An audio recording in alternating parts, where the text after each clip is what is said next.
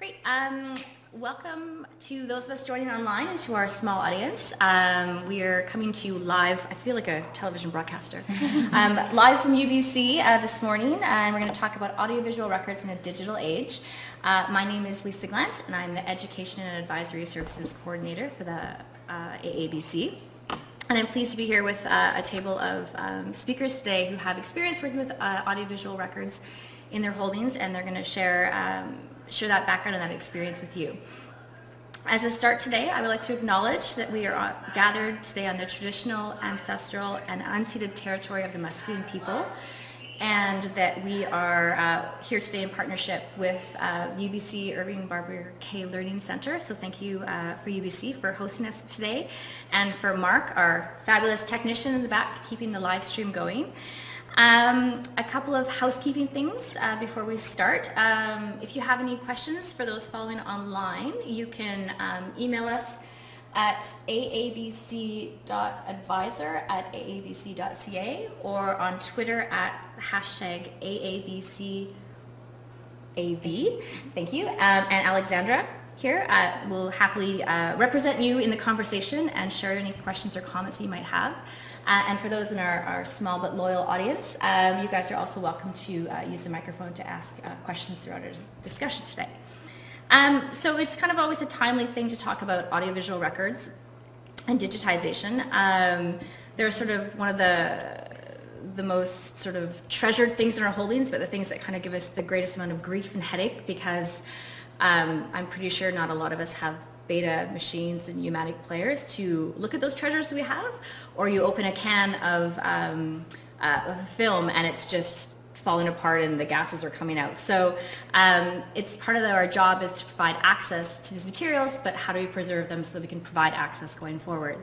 And I think as with, you guys can probably attest to it, that, you know, photographs in our collections are something that really evoke a strong historical passion for people, but there's something about when you can see and hear that history coming alive through these audiovisual records um, that is really uh, an important part of connecting people to their history.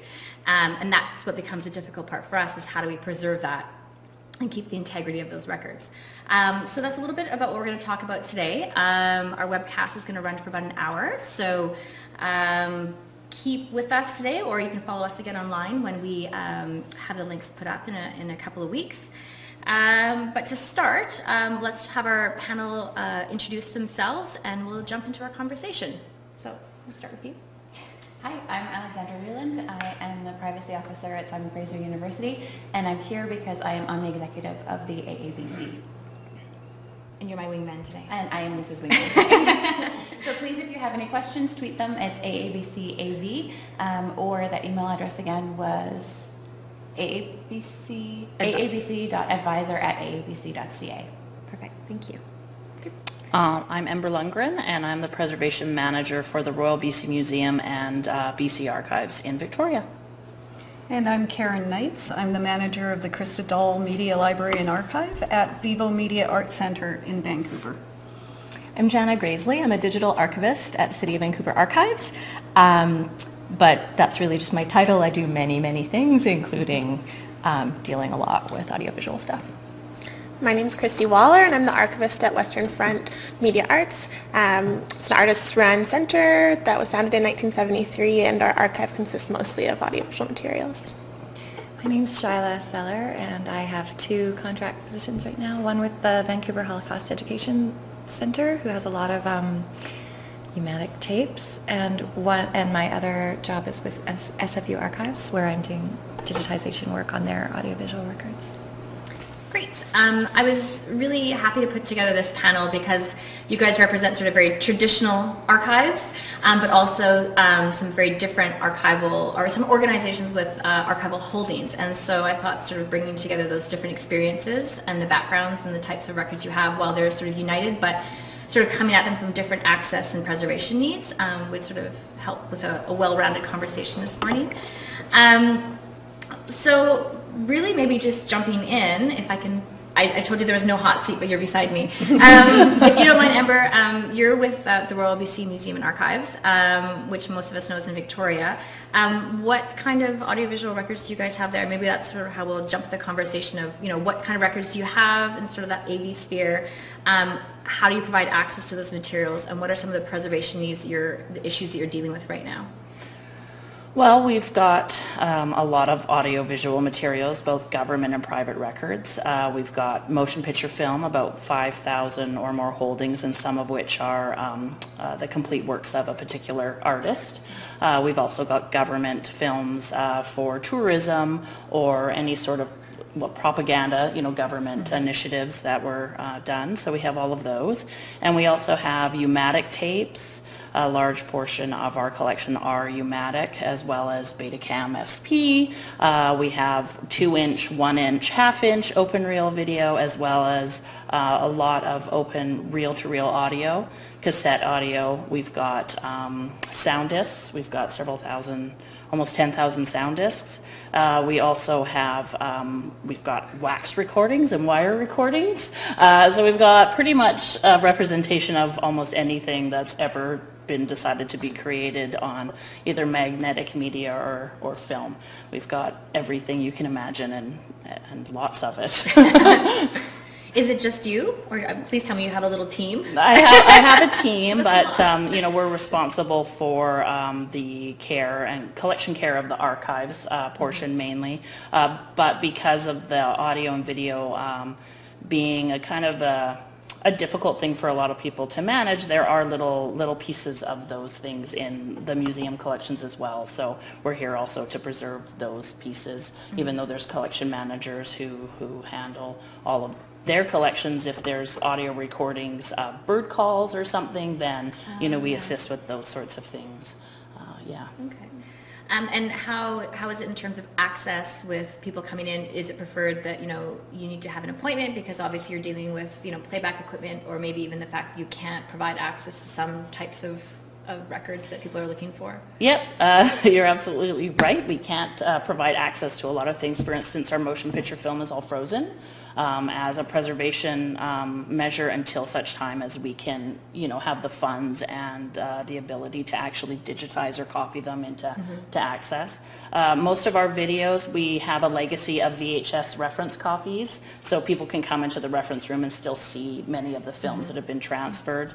Um, we generally try and make access available as much as possible, which sometimes means uh, pulling our video collections out of cool storage. We actually moved all of our original recordings that we knew of. There is backlogs, of course, that will surprise us, but um, everything was moved into cool storage, so around 5 to 6 degrees Celsius and a humidity between 30 and 40 RH, just to prolong the life of those things. So some things are more difficult to give access to, um, but we're lucky because past uh, preservation measures, and when I say past, I mean the 70s and the 80s, is they really tried to make master copies of the really important things or the things they knew people would want, so we can still provide access that way. Okay. Yeah. And those master copies, I guess, now are Oh, you know, yeah. 30 to 40 years old. Yes. So their their quality and condition is, is now maybe probably coming into play a little bit of. Yes, it's, uh, we've pulled some off of the shelves because we didn't have room in cold storage to put Yeah. the masters in. We just had to do the originals and we can't play the masters. Uh, But we've been pretty lucky that anything we've pulled out of cool storage and, and, um, you know, had baked, that we've been able to get something. So, like, we've been quite, quite lucky. Great. Good. Thank you. And for you guys. Yeah, so Vivo actually started as the Video In, and we started as a video library, an exchange library, that was um, trying to facilitate the international exchange of video. So like sort of a blockbuster for the counterculture, essentially. what we were.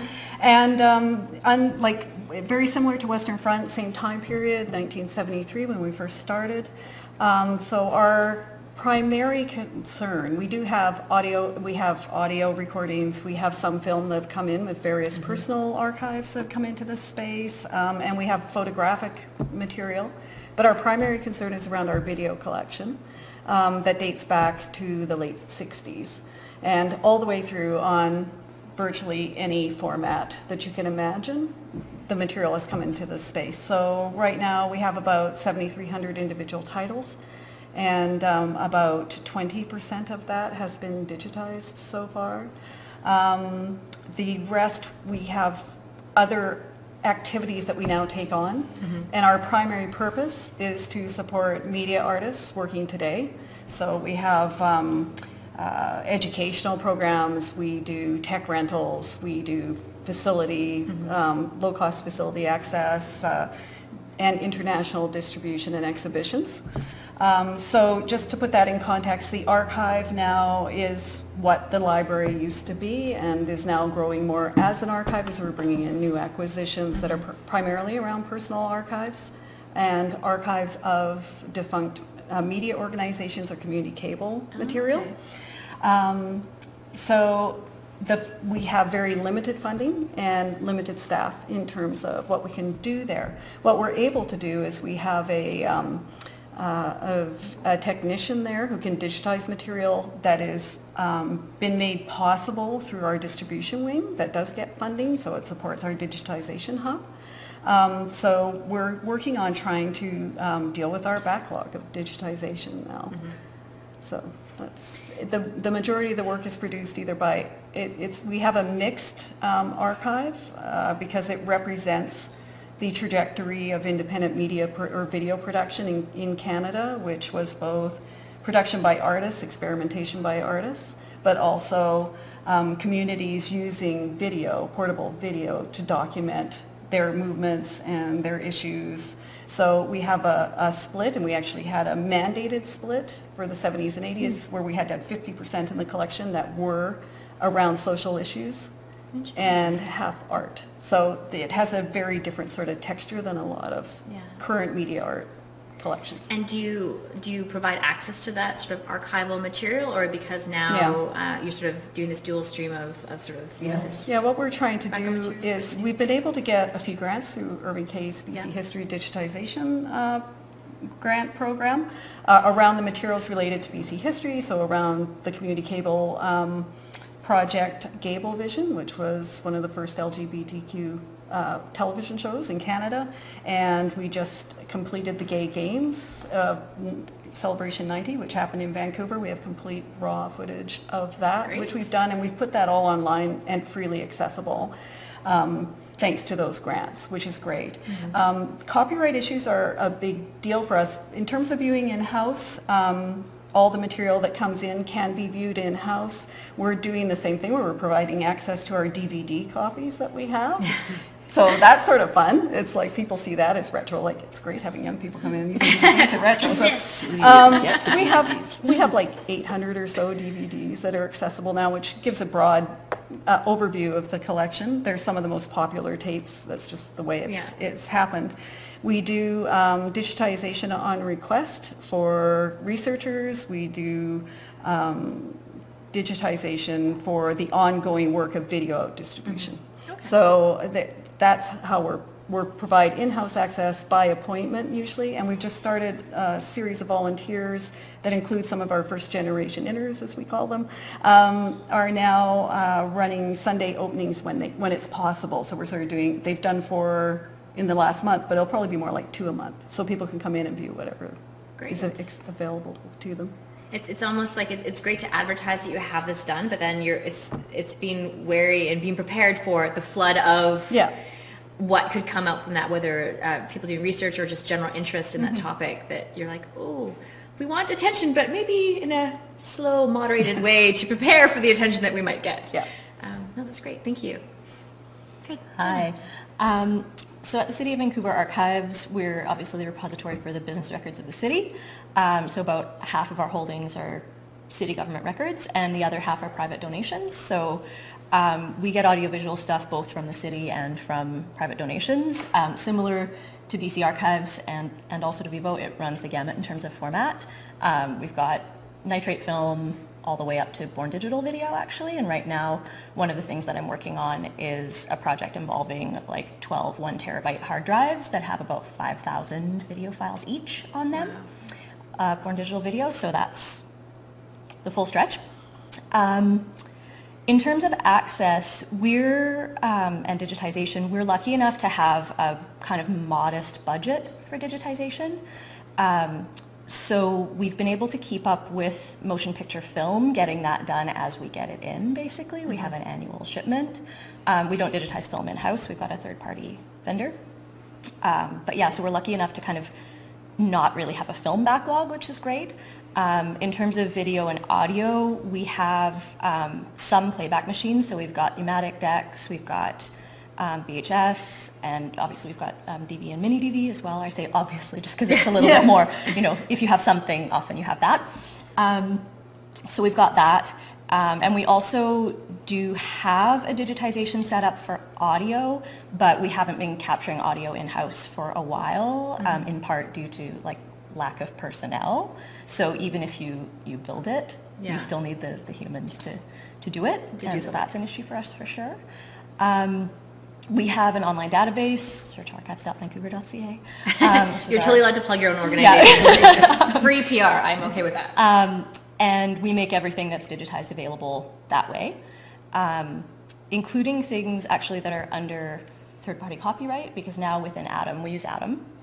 Um, and with Atom, within Atom now there's uh, click-through basically, so things that are available under third-party copyright, the user can agree that they're viewing those things for fair dealing purposes. Um, so we make everything available that way.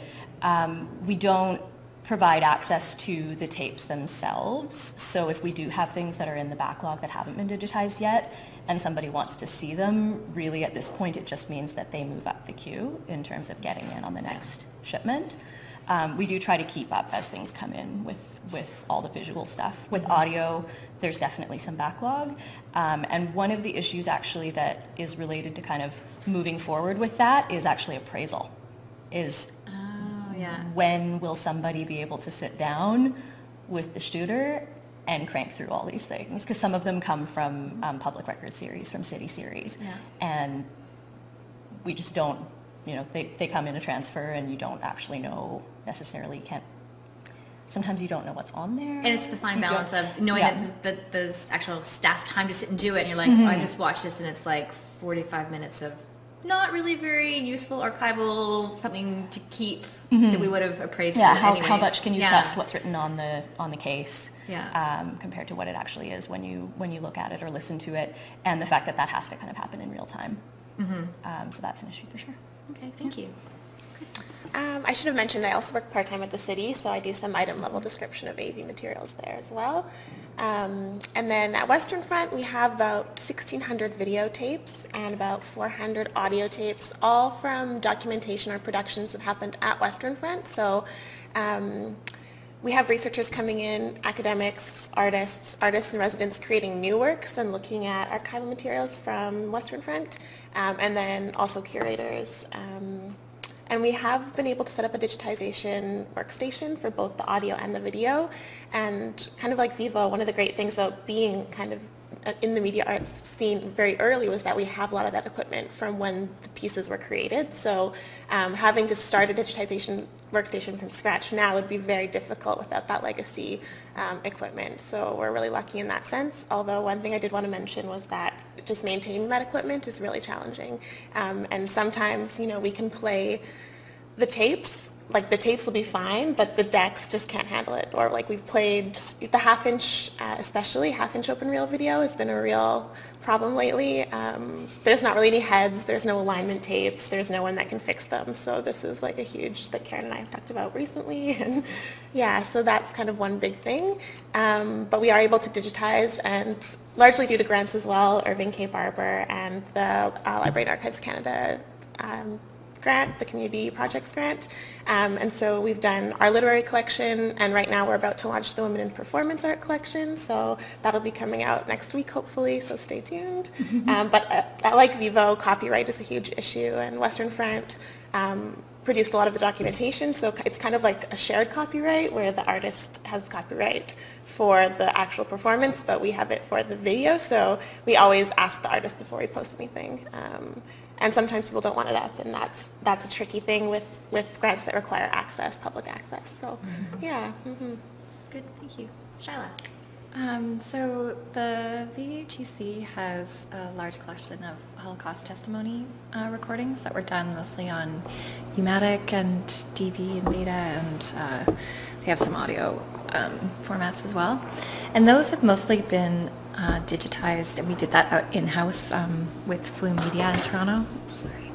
And uh, so I kind of managed that process by doing quality checks of, of digital formats as they came back, and um, and ingested them into our digital preservation system, which is an LTO deck, basically, and then a database that gathers metadata. Um, and at, so that that's a that thing about the VHEC Holocaust testimony um, project is that's ongoing, and right now, uh, Born Digital Video is being produced in high definition and really gigantic files, and that's um, something that we haven't really gotten a chance to figure out how to properly digitally preserve yet. So that's um, that's um, kind of what we're working on now, mostly there.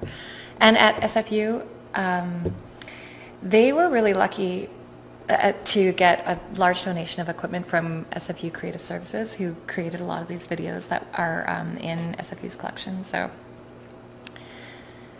I guess their videos are pretty, and they have a lot of film too, and, and bunch of different formats. But they have a lot of recordings of things like Convocation or um, old Webster interviews with Gordon Shrum or um, football games by SFU football teams or basketball teams. Um, and some of my favorites that I've been working on lately are uh, a lot of early dance performances put on by the School for Contemporary Arts that, that are um, that, and they recorded all their, their productions, their student and faculty productions from the 70s and 80s and 90s, and they're really beautiful to watch. So I've doing work on those. Um, but they were, you're, like as Kristy was saying, the difficulty of building these digitizations um, systems and accessing decks is really hard unless you are kind of lucky enough to have them, have the decks that were used to to create these, which we were luckily given a giant stack of.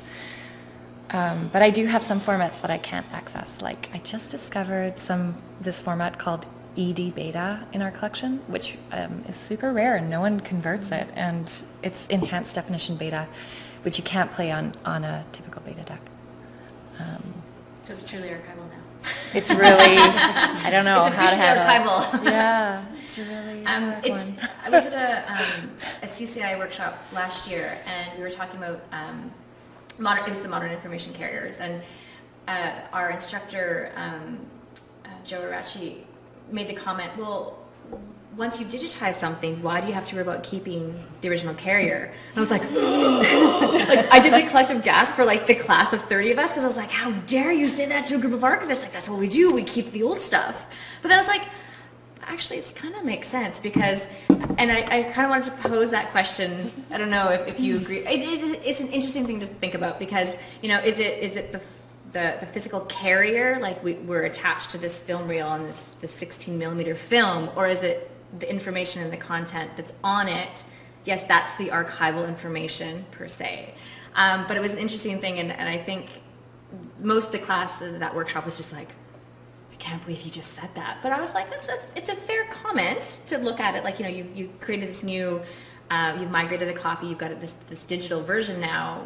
Why do we have to worry about the time and effort and trying to track down equipment to play the originals if we've now created this sort of more modern, more usable uh, copy? But it was just a bit of an interesting thought. I was like, oh, I have to remember to ask that question at some point. And today was like a good point to ask the question to you guys if there was, if, if you, but I don't know if you want to say that, it would make you lose your job or not. So I don't know. I sort of feel like that assumes then that the digital copy is somehow secure. Yeah. And uh, that's not necessarily true for a whole variety of reasons, including just the format that was used. Uh, Are we going to be able to transfer all that material to the next format? It keeps going on and on, but um, for an organization like Vivo that um, we're really lucky this year, we got a BCAC Early Career Development Grant, so we were able to hire uh, Sophie Roberge, a SLAIS SLAIS graduate, to come in and, and work on our digital assets this year, which was fantastic. But for the most part, we deal with amateur archivists who probably are artists who have dealt with archival practices within their own art form and then are translating it to um, uh, the work that we have.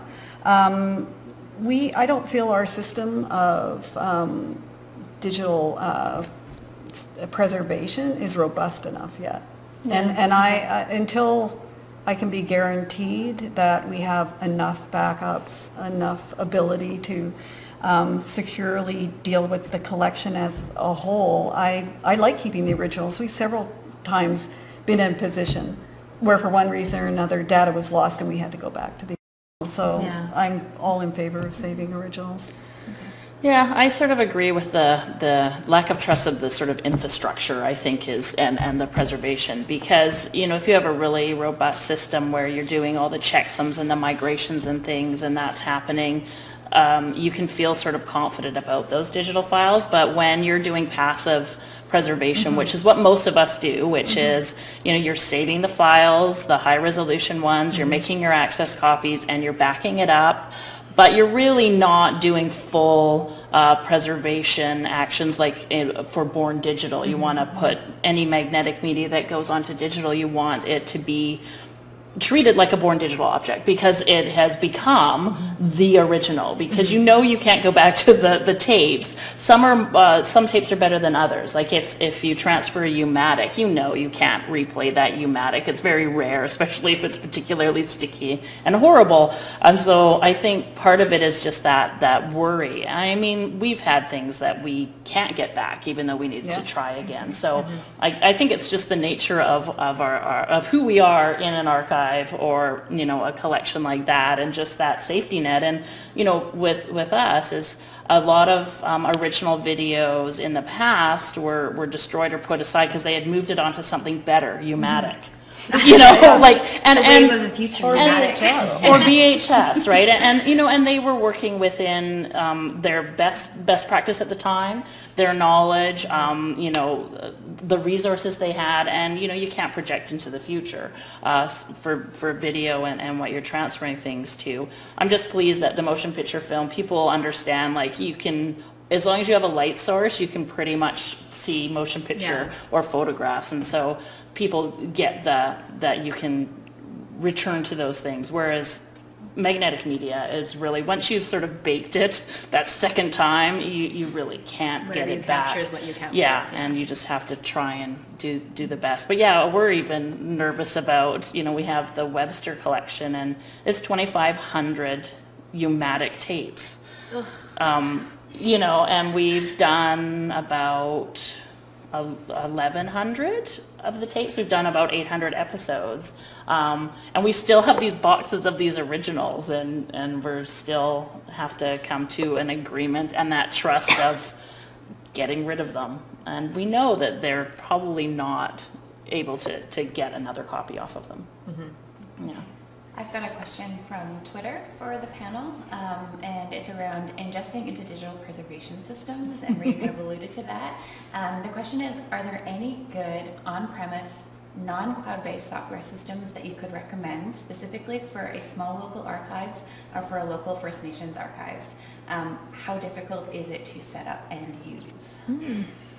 Does anybody want to jump in? Yeah, we all look at you. Uh, go. I mean, actually, and I should also say that Jana and Shyla have also worked at Western Front, um, and so have some experience using the system as well. And Jana was one of the people that created it, so she might be able to speak to it as well. But uh, we have an LTO 5 deck, and um, something that we do is when we are describing a tape, um, and we digitize it. We, we write all the metadata into a FileMaker database. We export that metadata um, both about the capture process and about the digital object itself and about the physical object um, into an XML file. And then we write that into a folder with the actual master copy of the video. And we write that file onto LTO. So an LTO, it can hold about 1.5 terabytes, LTO 5. I think we're up to LTO 8 now and it holds 12 terabytes. It's like crazy. So, um, and they are only two generations backwards compatible, and it is also a magnetic tape. So it seems kind of funny to be, you know, digitizing and then writing back to an LTO tape. But the thing about the LTO tape for a small organization is that, as I said, I work part-time. Most of my um, wage is grant, grant-based, so there is a point in time where I may not be able to be there, and there may be nobody in my position. So having those tapes sitting there when they have a lifespan of, um, they say 30 years, um, as long as you have the playback equipment. I mean, there's lots of things, and I don't think that any system is totally ideal, but, you know, really if they sat there for five years and the LTO deck was still there, we would still be able to get the content off ideally. And we write two copies, so hopefully on one of them. Plus we also have access copies, but, but the master uncompressed copies are there. So we do, it's kind of like an, a manual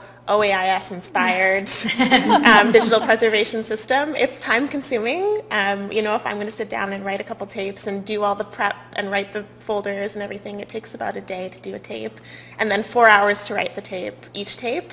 So um, it is, it's a long process, and you've also had And those experience. decks are very expensive. And they're really so really it's really expensive, hard yeah. for smaller organizations to sort of fundraise to Yeah, buy although them. equipment grants are easier to get than archive grants. So if you can somehow swing it, so it's Are more there, about are there the places equipment. for equipment grants? Like what organizations? I can't This is a remember. I the wasn't top of there when head, Western kind Front of- bought I actually wasn't either. Um, We got our LTO through um, uh, BC Arts Council. Oh, okay. In a, in a, um, oh, I'm trying to remember what the specific grant was, but it was one of the infrastructure-based grants. Okay. And we were, we were able to do a bit of an upgrade at that point. But you can't count on being able to constantly go back to the same source. Yeah, yeah, Right, that's so- the thing. yeah. Okay, it's good to know. And they're so expensive, they're hard for us to fit into our regular equipment grants that we get through Canada Council. It's just not gonna. Yeah. Um, If I can just jump in. Yeah. um, Regarding smaller organizations, I think that one thing that um, makes the entire prospect of digital preservation really intimidating for smaller organizations is that a lot of the resources and information that are out there are, um, they either come out of large projects at large institutions with like often say institutions in the States or in Europe that have actually like quite like either private philanthropic or government funding behind them. Um, and so sometimes the scale doesn't really map Yeah, to what how do you smaller scale it back to a organizations are, are doing. organization? Yeah. And so you feel like even just the like the barrier to entry just feels like enormous. Um, I think that like from my experience at Western Front, kind of developing a digital preservation system, which is very manual, um, really in a lot of ways for me that was actually kind of my gateway to starting to feel comfortable fe- dealing with digital preservation at all. Um, certainly isn't part of my background prior to becoming an archivist. And um, it's entirely possible in a small organization to just like, if you have a relatively small number of things you're actually stewarding, yeah, it's quite manual. There's sort of like, there's this file, I'm going to package up its metadata into a little folder and I'm going to copy it over here. Like it doesn't have to be a robust ingest system that does everything automatically for you. Mm-hmm. Like it does mean then there's a lot of human time going into that, Yeah. but you also have to weigh that against the human time that would go into learning how to install and run Archivematica, which is just like not terribly accessible for Yeah. people who don't have maybe a lot of technical skill or background or a lot of time or staff that are paid, all of that stuff. So Yeah. it's going to be um, it's going to be a resource intensive undertaking no matter what you do. Um, but it's entirely possible to just scale it way, way, way back. And maybe too, yeah, to build that confidence, doing it a small project where you're not saying, I'm going to Yeah. like digitize 500 things by next Tuesday, which is not going to happen. And know Yeah. that to build it into a work plan, what's that budget going to be? Do we need to back up and look at grants and what are some resource agencies I can mm-hmm. use? Do I need to get training myself? Do I need to go in and shadow someone for like a day or two and just mm-hmm. ask all those little annoying questions that I I need answers to so I can understand what I'm talking about mm-hmm. and and sort of see how that the the, the workflow works.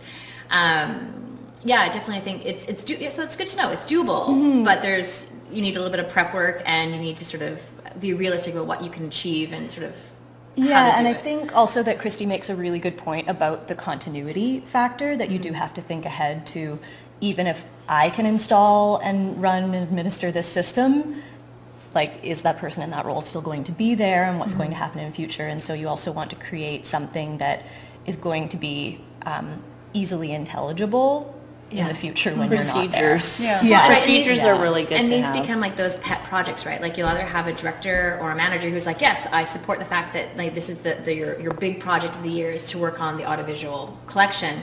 So great, you've got the time and resources to do it. But then you can have a complete shift or a donation that comes in that's a completely different sphere of work and then that just gets dropped. So exactly, like the reality of the day-to-day, if it's just a small organization that's like one or two people, part-time, grants, all those things that a lot of us um, have to manage.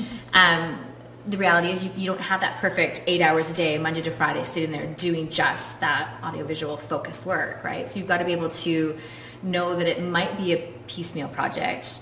Developing the policies, like that is like the driest part of probably what we do, sitting down, this is what I'm doing and why I'm doing it. But that's what's going to create the, that good foundation to go forward so that either when you leave or you move on or someone else comes in to help work on the project, they've got that foundation to move forward on instead of going what and how and why did they do Yeah. that and wasting um, that time and resources. Yeah, and workflow is really important. I make all of my staff who are doing digitization, whether it's scanning or whatever they're mm-hmm. scanning, is there's a procedure, there's a workflow that starts from like taking it off of the shelf and then clearing copyright or clearing rights or checking if it's restricted and then all the way through. So I think documenting what you do so future generations know what you've done or when someone comes in Yeah. Um, is really important, and um, especially with retirements and people leaving. Uh, But also, like small organizations should befriend their IT department because a lot of this like relies on IT and the computer guy who comes in and helps you fix stuff. And if you can explain sort of what you need, they're usually really good about wanting to help try and figure that out. And then some of that scary technical stuff can be helped along the way by people who have more computer experience, say, than you may have. No. Yeah. Um, one of the things that I was, was doing, and I sort of spammed various museum and library and archive listservs over the past month, is um, putting together just that, a resource list of um, companies that do um, audiovisual um, uh, reformatting and, and preservation. Um, and so thank you for everyone that uh, has had shared companies that they've worked with and, and their uh, experiences. Um, and even just knowing that, that, because some people aren't even familiar with or comfortable to say, I may have this player, but how do I get it from point A to point C. And so, um, you know, outsourcing and having, you know, reputable companies doing that work is, is a great avenue. And then you can sort of build that into your budget, uh, you know, small scale, large scale, um, tied in with granting projects, things like that. Um, but you mentioned the, about doing like quality control and checking afterwards. Like that's a huge part of the workflow. That it's not just like, okay, I'm sending it off to, uh, you know, Ember and it's going to come back next week and it's all back on the shelf. Like there's actually that follow-up process that needs to happen to make sure um, is it is it readable? Is it playable? Is, is the quality Is the there sound synced? Yeah. Like Yeah, that's one of the especially if you're things. dealing with The like huge one. uncompressed video, which is so big, Yeah. and sometimes it'll just slow your computer down. You're not sure if it's just like, oh, is my computer just choking at this large file, or is the file a problem? And then Yeah. you're trying to figure out how to troubleshoot the issues that you come up with. I mean, we didn't even have a computer when we started that was strong enough to handle like the files we needed. Oh, So, exactly. Yeah, like, you know, and we're like a provincial government, so I know how you feel. And I was like, okay, we need something that's that's really good with a digital suite.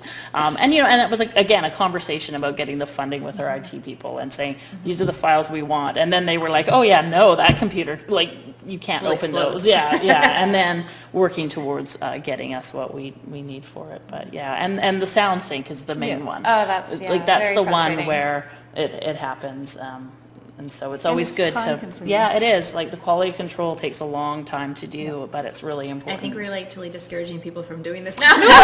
you know like it's don't worth do doing. It's, it's worth doing. Like you know you're not gonna not quality control anything that you get done. You know you're gonna make sure that everything's spot check it and yeah. And so what about the idea of if you have, say if you're using a, you know, a, a third-party vendor um, off-site to, to have your, um, your audio-visual, uh, you know, say tapes converted, um, what about things like, you know, if, if the sound quality is poor or it's a really grainy, you know, uh, quality, do you have them do those little sort of repairs and kind of tweaks or do you say, no, I just want a clean copy, the, the original version, you know, all of those little imperfections are part of that historic record. Do you, um, you say, I just want a clean copy or like, oh yeah, maybe you can like tweak with the color or play with the sound a little bit. Like, do you, do you give that option? Or do you say, no, just a clean copy straight across?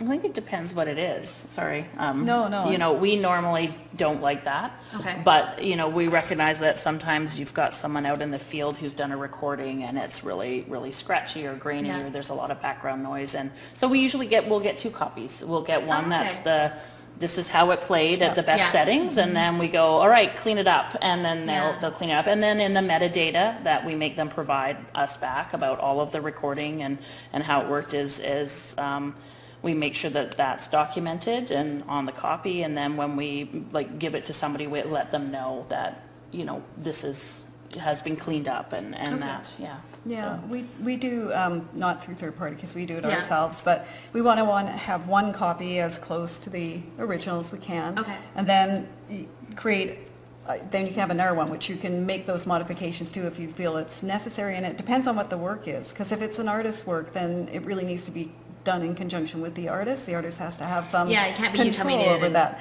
But for, it, like yeah. our Gayblevision project, um, one of the biggest failings um, in the original recordings was sound. So we ended up remastering all the sound, but we kept all those files separate. So we had the original, Mm-hmm. you know, kept the way it is, the uncompressed file, the way it was, uh, created audio files, then have stored those separately, Yeah. right? So we have the original saved, the master sound uh, files saved, and then we linked them up for um, public presentation because it just made it more accessible for people. Okay. And people tend to change the speed during the recording with the running out of tape and they're in the field. So we've come across that where, where you play it at, and then you're on one speed and then all of a sudden it gets slower, it speeds up because they've changed the speed depending Yeah. on the tape length. So And so we, yeah. we go in and we make sure that that's corrected That's because no one can actually, um, use those tapes. You imagine they'd like, all of a sudden like talk, and then we go very, and people are like, did I get Yeah, that correctly? yeah, it's, that's one thing that we find because we've got also, um, what's like linguistics, um, as well as, um, early recordings of, um, you know, potlatches and songs and things that are very restricted, but they were out in the field when they were getting permission to record these things and, and so they would, you know, try and get as much on a tape as possible. So we find that sometimes they're, they, they're problematic with sound. So it's great that we can clean them up, uh, post digitization, so. Okay.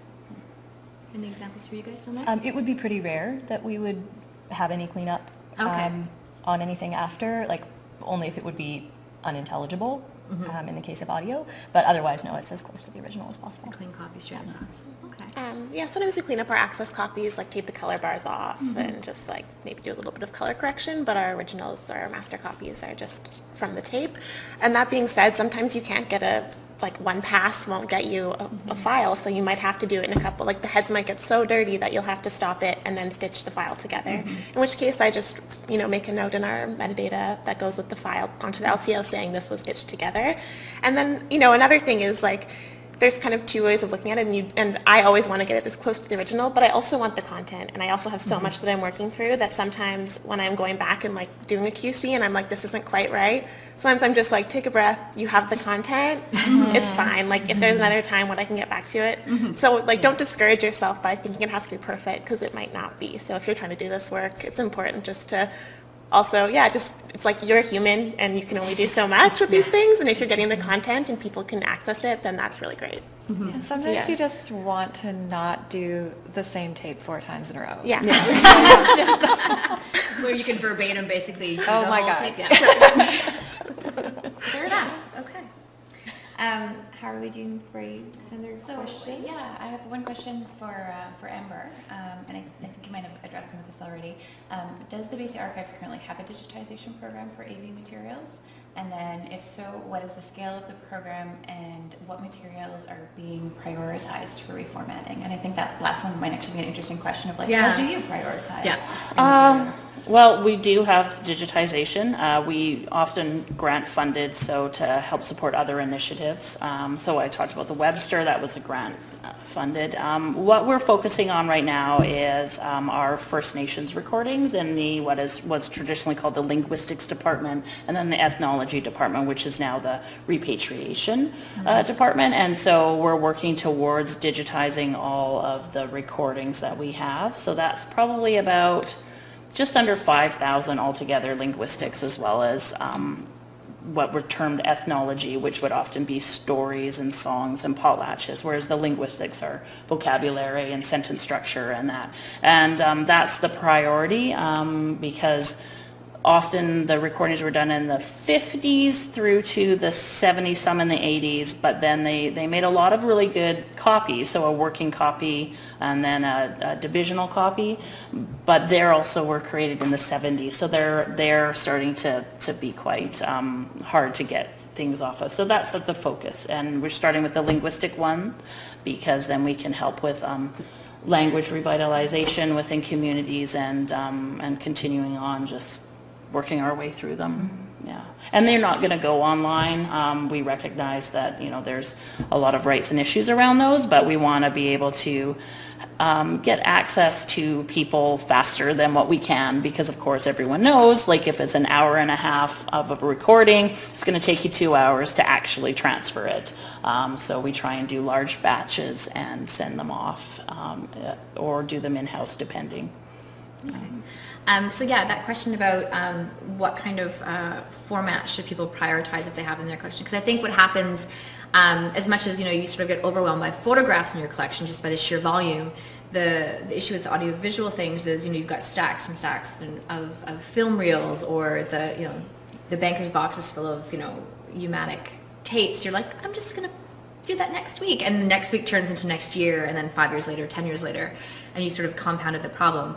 Um, what are some formats maybe that from in your experience you recognize that based on sort of when they were you know commonly used now that we're in you know 2018 we really need to focus on this actual physical carrier because just the time difference it's it's falling apart it's degrading and the issue of you know equipment and supplies to make that equipment run doesn't ex- is, is really hard to track down. So, are any I think recommendations half inch open reel is Yeah. like Yeah. the most critical Yeah. for sure. yeah and U-matic half inch open reel and U-matic I um, find U-matic is actually kind of robust as far Yeah, as I- I like, found Oh, it was- ours- It's exciting. ours is horrible you guys So are depending lucky on where you work, Yeah. yeah, there Well- are two answers. Well, and the thing is, you don't know where thing, you know where Yeah. things have been Yeah. stored.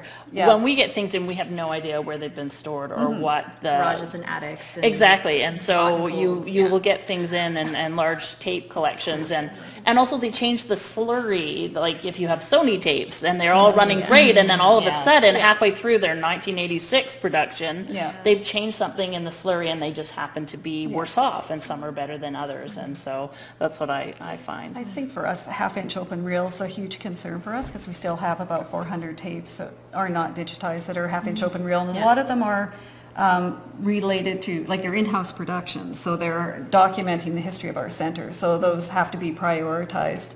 Um, And we were just talking earlier about the lack of uh, repair um, possibilities now. Um, You can't get heads for the material, uh, for the decks.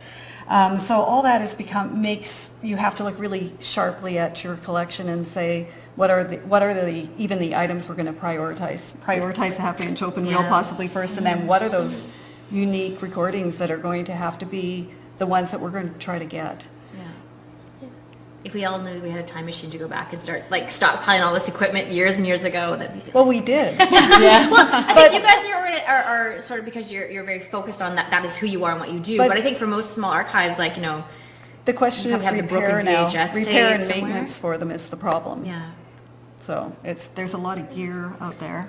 Uh, We have, skill we have 20 half-inch decks at least at Vivo, but um, we need someone to repair them. Ah, okay. We have one, So there you go. A call to like you know a professional. which I um, don't think is working. A professional niche repairing old audiovisual equipment. It's actually, could be quite lucrative and someone really needs to take it up. I think also Yeah. what we do is when we're determining, we go, okay, from a preservation perspective, these are the worst and most obsolete Yeah. or, um, and then I bring in the archivist as well and I'm like, okay, well, what's not important?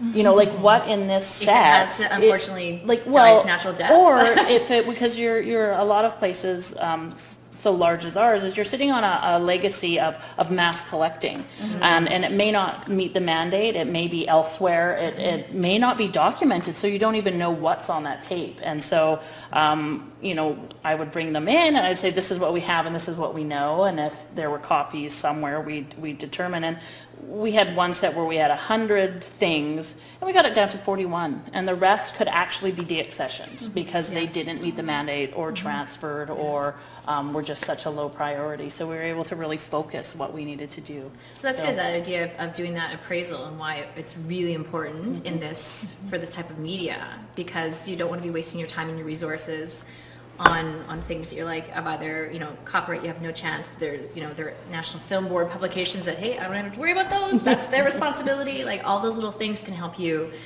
maybe take a really big overwhelming project down to something that's actually manageable that you can wrap your head around and not be so afraid to sort of, to jump What into. about and tackle. storage conditions? Yeah. Like, I- like you were wondering, do you mm. think that's ever an appraisal question? Because like sometimes if tapes are really bad, they'll damage the decks, right? And the decks are mm-hmm. almost more precious than the, because you need them. Well, so- we inspect every single thing before we even put it on, on a deck. We just Yeah. do this, the seven-step check for anything that's in a cassette. Yeah. And if, you know, if we get the hint of, of mildew, mold, or that lovely waxy crayon smell that speaks to, um, uh, sticky shed, then it's like, It's not goes to a going on. lab, not going on the machine. Okay. Yeah, because we know that we don't have anyone that can uh, fix it if something were to happen. Mm. And we could destroy not only the machine, but the tape. You know, you, you ruin the tape Yeah, by just exactly. trying to play it, and then Yeah. you're, you're kind of, We you've have a lost bunch it. of tapes that were stored under the SFU swimming pool. Yeah. Oh, fantastic spot. Isn't that great? Yeah, we, we had the same problem with um, the Lenore Herb Archive. She documented a lot of the punk scene in Vancouver, but she also stored all her tapes under a tarp on Hornby Island for a year and a half. So Yeah. those are like not going near the decks yet. It's a really big uh, assessment has to be done on Well, that. and that, that issue and that, that comment about, you know, where they've been preserved and even how you can then properly preserve them um, and with your own, your own storage conditions might even be a, a reason for people to say like thank you but no thank you to donations because if you know that you can't even though it may be great but if it's been sitting on one of the Gulf Islands you know for two years out in the humidity the high chance of those tapes being you know damaged to a degree that is possibly irrepers- irreversible that then could if it's in a storage um, area with your other collection, could somehow migrate and affect other things. Like you don't want to take that risk on. Um, there are some of the smaller organizations that I've I've visited the site visits. They they just don't want to deal with some of the older film or because they don't have the capacity. Like we have no way to play it. We're not you know we have um, no way of even checking the condition of it. So for it to come in, it's just going to sit on the shelf and probably just die. And so is it better that we say thank you but no thank you at the front of the conversation with the donor and try to get them to maybe donate it to an organization that's better equipped to deal with it or has know that they can um, somewhere uh, in their work plan, you know, get funding or staff to, to manage it. And so that's one way to look at it too. Not to say, you know, turn everything down, but be realistic about maybe your storage conditions, what you can actively maybe do.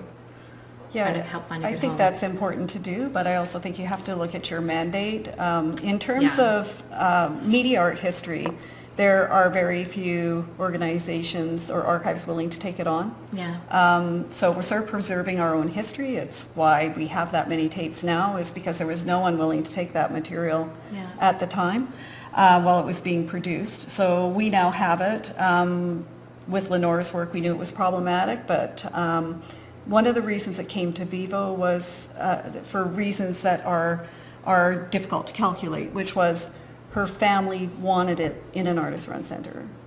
They wanted Yeah. it part of the movement she was part of.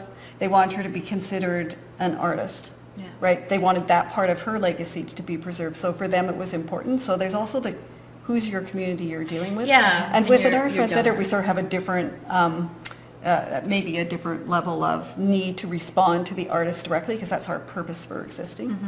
No, excellent point. Yeah. Yeah. Um, does our, our audience here have any questions? Put you guys on the spot? We're, we're filling their heads with wise bits of tidbits that are um, online. I have a couple of questions from online. One email question that's asking for comments on digital formats for moving image film. So for example, uh, resolution like SD, HD, um, or for formats, um, DPX, AVI, that kind of thing. Um, okay. You guys all know this, but share with share your information with the rest of us. So when you're when you're moving to these these more uh, modern converted formats, what are you guys using as your sort of your best practices for those?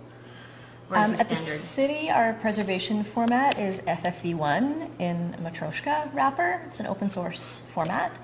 Um, It's currently going through the process of being standardized um, through a project called Cellar, um, spelled like cellar, Basement. like basement.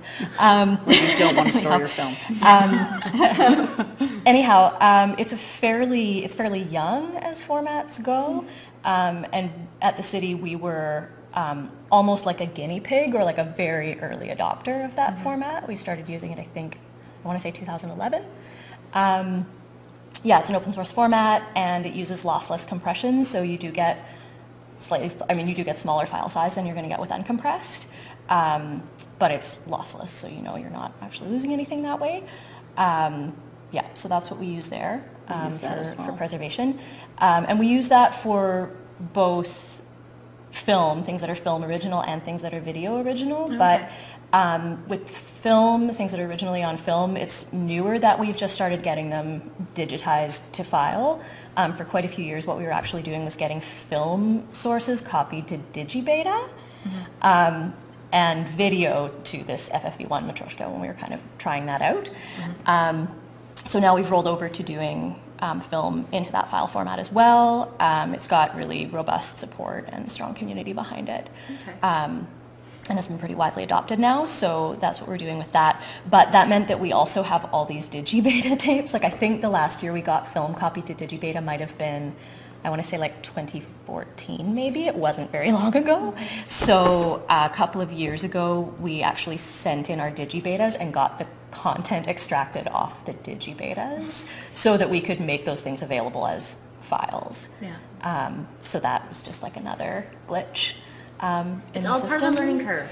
I Yeah, you know, absolutely. Reframe glitch into a positive way. Yeah. The learning curve and as technology Well, improves in this area. And, you know, and with video, um, especially video sources, I mean, when I was um, a student in the um, dual program at SLAIS, it was really like maybe buy time with a tape format, like Yeah. with Digibeta or copy it to another format, um, because there isn't a trustworthy file format out there yet. And there was this kind of like waiting for Motion JPEG 2000 or like waiting for something that was supposed to be the thing Yeah. um, because there wasn't an equivalent to say like TIFF or WAVE or something like that. Um, so, you know, now at least, like it's one of the things that I like to highlight as a positive of doing this work is that at least now there are, I would say, like three choices um, that you could use for preservation formats. Great. And just for, for our audience out there that might not know of all these three options, can you share them with us? Yeah, and this is for when you're digitizing um, analog video or film. So this isn't um, necessarily relevant to Born Digital or to things that came in like a DPX format or something like that. Um, that would pretty much be uncompressed in whatever kind of wrapper you like. Often it's MOV that people wrap in, but wrap in all kinds of stuff. Um, and it would be FFV1 in a Matroska wrapper or Motion JPEG 2000 in whatever wrapper. Often MOV as well. We use the Matroska as well. Okay. We use the uncompresso V210 codec in a .mov wrapper. Um, and partly, I mean, I would like to move to something like FFV1, but um, as I said, with just me there two days a week and there's a steep learning curve, that's not really like a file you can just like play in QuickTime. It, It's glitchy. Sometimes you have to play it through FFmpeg and know those kinds of terminal commands to be able to deal with these files. And so it's just, it, it requires a bit more time. So that's, and we have the capacity to be saving the uncompressed files. So Yeah, um, that's doing what we've been doing. Yeah. Yeah. Yeah.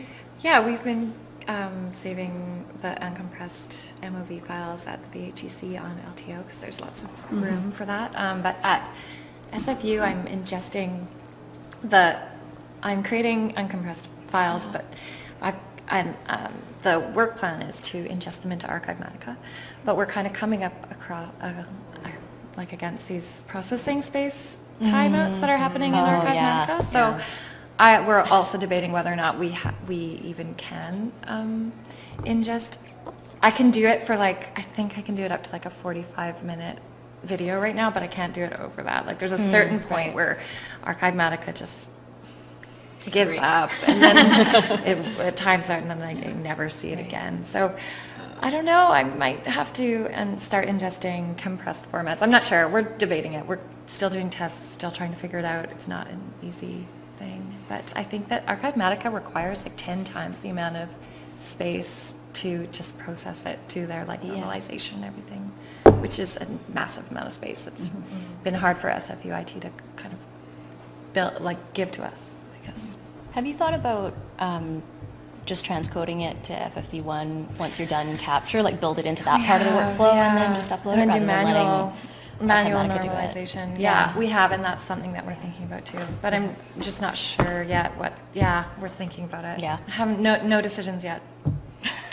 Well, so it's, I mean, so it's great, like you said, like, you know, even five, ten years ago, people are sort of waiting for what that new format's going to be, and sort of some strides have been made to sort of, here's a platform, it's working, we've had some good feedback. Um, I think in that sort of digital, um, in this new kind of environment, that always is, is going to be happening. Um, at some point, there's just going to be a sort of, I want to say maybe an end to some of that older media coming in because we are going to sort of move to this fully digital world. Um, so maybe yeah, there's the, that that effort and that desire to want to keep these these pieces that are going to become artifacts unto themselves, much less being archival records with for the information they have on them. Um, we're sort of wrapping up in our last um, our last minute. Um, I think an hour goes by very quickly, and you probably have so much more information to share. Um, but I want to thank you very much all for coming and for Ember for coming over on probably a very early ferry this morning from Victoria, so she gets the gold star for the day. Um, I think it's it, this is definitely one of those things where um, you know they might have talked about our, our panel today uh, topics or, or terminology that you're not familiar with. But it's not to say don't be scared about looking into things or asking questions or reaching out to other organizations that are are doing media conversion, especially with their audiovisual records. Um, there, there's no reason to sort of hide behind the I don't know what to do. Um, I think the sort of the, the archival and museum community, um, we're a very welcoming bunch, and you know people like to sort of share their successes and sort of bemoan our failures. But even from those failures and things that didn't work, and 45 minutes later it times out on you, and you're like, ah, you know, what do we do now? Like some of those those creative solutions that could come out of that process um, is, is part of sort of that learning curve for this whole process for, for moving forward. Um, I think uh, sort of wrapping things up, um, thank you for all your information and sort of experiences you guys have shared today. Uh, thank you for those that, that joined us today in person and for those following online. Um, if you have any questions, um, I am not an expert in this like these ladies are, but I can certainly, if you have any more questions, you can reach out to me and I can um, find information for you or put you in touch with someone if you have some more questions. Um, and with that, I think we will wrap up today. So again, thank you all very much, and we will see you at our next webcast. Thanks.